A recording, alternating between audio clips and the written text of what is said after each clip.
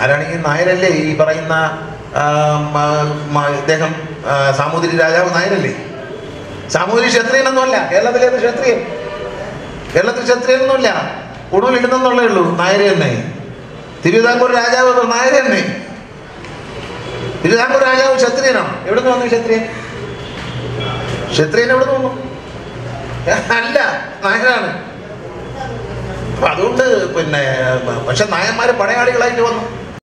തിരുവിതാംകൂർ രാജാക്കന്മാർ ക്ഷത്രിയന്മാരല്ലെന്നും നായർ വിഭാഗത്തിൽപ്പെട്ടവരാണെന്നും പത്തനാപുരം എം എൽ എയും N S S taluk union പ്രസിഡന്റുമായ K B Ganesh Kumar N S S Pathanapuram taluk യൂണിയന്റെ ബഡ്ജറ്റ് യോഗത്തിൽ അധ്യക്ഷത വഹിച്ച സംസാരിക്കുകയായിരുന്നു ഗണേഷ് കുമാർ. ആരാണെങ്കിൽ നായരല്ലേ? ഈ പറയുന്ന ഇദ്ദേഹം സാമൂതിരി രാജാവ് നായരല്ലേ? സാമൂതിരി ക്ഷത്രിയനൊന്നുമല്ല. കേരളത്തിലെ ക്ഷത്രിയൻ. കേരളത്തിൽ ക്ഷത്രിയനൊന്നുമില്ല. ഉണവിലിടുന്നെന്നുള്ളേ ഉള്ളൂ തന്നെ തിരുവിതാംകൂർ രാജാവ് തന്നെ തിരുവിതാംകൂർ രാജാവ് ക്ഷത്രിയനാണ്. എവിടെ നിന്ന് വന്നു ക്ഷത്രിയൻ? ക്ഷത്രിയൻ എവിടെ നിന്ന് അല്ല നായരാണ്. അതുകൊണ്ട് പിന്നെ പക്ഷെ നായന്മാര് പടയാളികളായിട്ട് വന്നു.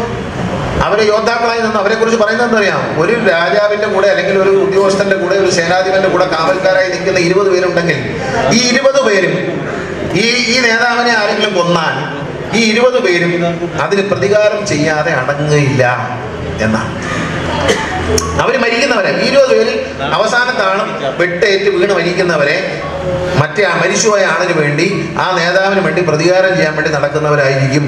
എന്നാണ് പറയുന്നത്. ഇതൊക്കെ ചുമ്മാ വെറും ശൂദ്രന്മാരാണെന്നും പറഞ്ഞ് അങ്ങനെ അങ്ങനെ ശൂദ്രൻ എന്നൊരു ജാതിയൊന്നുമില്ല. അത് പാവങ്ങളെ ഒരു വിഭാഗം ബ്രാഹ്മണർ കഴിഞ്ഞാൽ താഴോട്ടുള്ളവരെ എങ്ങനെയെങ്കിലും ഒന്ന് ഒതുക്കാൻ വേണ്ടി എല്ലാവരെയും കൂടെ അങ്ങ് പിടിച്ച് ശൂദ്രനാക്കിയതാണ്. ഓരോരുത്തർക്കും അവരുടേതായ കുലത്തൊഴിലുകളും അവരുടേതായ ആദർശങ്ങളും അവരുടേതായ രീതികളും ഉണ്ട് പാവങ്ങളെ ഒരു കരയിലോട്ട് അടുപ്പിക്കാൻ ഒരു മേധാവിത്വത്തിന്റെ ഭാഗമായിട്ട് ചെയ്തെന്നുള്ളൂ അത് നമ്മൾ കാര്യമാക്കേണ്ട കാര്യമില്ല. അതൊക്കെ ഞാൻ ഈ കുഞ്ഞുങ്ങളെ പഠിപ്പിക്കുന്ന പുസ്തകം കിട്ടുമ്പോൾ നിങ്ങൾക്കും വായിക്കാൻ മനസ്സിലാക്കാം. ഒരു ശ്ലോകം എടുത്താൽ ആ ശ്ലോകത്തിൽ എന്താണ് പ്രതിപാദിക്കുന്നത്? അപ്പൊ നമ്മൾ ഉദാഹരണം പറയാം. കർമ്മണ്യേയും വാദികാരസ്ഥയും ആ ഫലേഷു കഥാചന എന്ന് പറയുമ്പോൾ പലരും പറയുന്നതിനെ കർമ്മം ചെയ്തോളൂ നീ ഫലം ഇച്ഛിക്കേണ്ട എന്നാണ് അങ്ങനെയല്ല അതിന്റെ അർത്ഥം. കർമ്മം നീ ചെയ്യുക. എല്ലാ കർമ്മത്തിനും ഒരു ഫലമുണ്ട്. സയൻസ് പറയുന്ന പോലെ every action there is an equal and opposite reaction എല്ലാ കർമ്മത്തിനും ഫലമുണ്ട്. അത് ഇന്ന സമയത്ത് ഇന്നതുപോലെ വേണമെന്ന് നീ പ്രതീക്ഷിക്കേണ്ട എന്നുള്ളതേ ഉള്ളൂ. നല്ല കർമ്മത്തിന് നല്ല ഫലവും.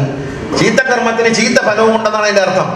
അപ്പൊ നീ നല്ല കർമ്മം ചെയ്താൽ നിനക്ക് നല്ല ഫലം കിട്ടും. പക്ഷേ ഇത്രാം തീയതി ഇത്ര മണി ഉച്ചയ്ക്ക് രണ്ട് മണിക്ക് കിട്ടണം എന്ന് വിചാരിക്കരുത്. നമ്മൾ ഒരുപാട് നല്ല കാര്യങ്ങൾ ജീവിതത്തിൽ ചെയ്യാറുണ്ട്. അതിന്റെ പ്രതിഫലം കിട്ടുന്നത് ആ ഇന്ന് ഞാനൊരു നല്ല കാര്യം ചെയ്തു. നാളെ രാവിലെ തന്നെ. വരമ്പത്ത് പോയി കൂലിയൊന്നുമില്ല പക്ഷെ പത്ത് ദിവസം കഴിഞ്ഞോ. അല്ലെങ്കിൽ ഒരു ആറ് മാസം കഴിഞ്ഞിട്ടോ അല്ലെങ്കിൽ ആറ് വർഷം കഴിഞ്ഞിട്ടോ നമ്മളെ ലാഭത്തിൽ പെടുമ്പോൾ നമ്മളെ ദൈവം പൊടി പോലും തട്ടാതെ ഇങ്ങനെ തൂക്കിയെടുത്ത് രക്ഷപ്പെടുത്തി അതേതാ?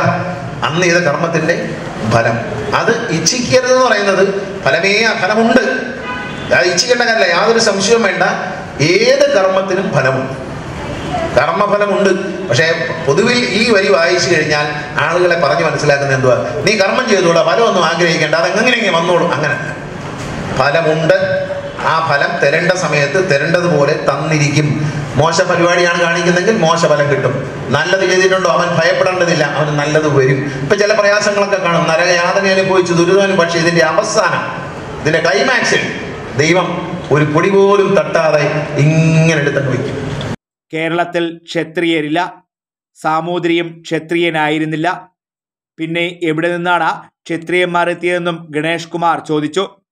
ജനവിഭാഗങ്ങൾക്കിടയിൽ ശൂദ്രന്മാരെന്ന വിഭാഗമേ ഇല്ല. കർമ്മങ്ങളുടെ അടിസ്ഥാനത്തിലാണ് ജാതിപരമായ വേർതിരിവുണ്ടാകുന്നത് നല്ല കർമ്മങ്ങൾ ചെയ്തുകൊണ്ട് നല്ല ഫലങ്ങൾ ലഭിക്കും. താൻ നിരവധി നല്ല കർമ്മങ്ങൾ ചെയ്തുകൊണ്ടാണ് തനിക്ക് ഏറെ ഗുണങ്ങൾ ഉണ്ടായതെന്നും ഗണേഷ് കുമാർ കൂട്ടിച്ചേർത്തു. Fox T V news bureau Punalur.